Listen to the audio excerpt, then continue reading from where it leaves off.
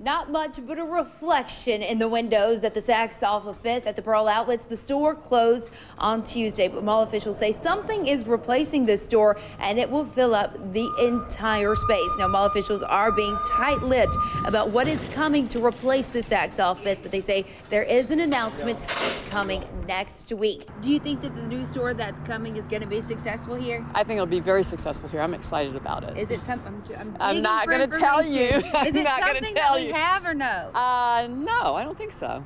So it's something that's probably going to be new to the Jackson Right. area. Right now, mall officials say they're excited about two new stores coming to the mall, including Bath and Body Works and Francesca's. We're real excited. One that's just going to be fun is Doc Popcorn. Uh, they have gourmet popcorn with all natural flavoring, and they'll be near the playground. And with just one more weekend to get all of the Easter clothes ready, they say they expect sales to go up and this weekend to be a busy one at the mall.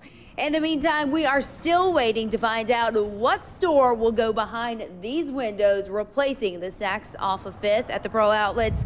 They say the announcement again will be next week.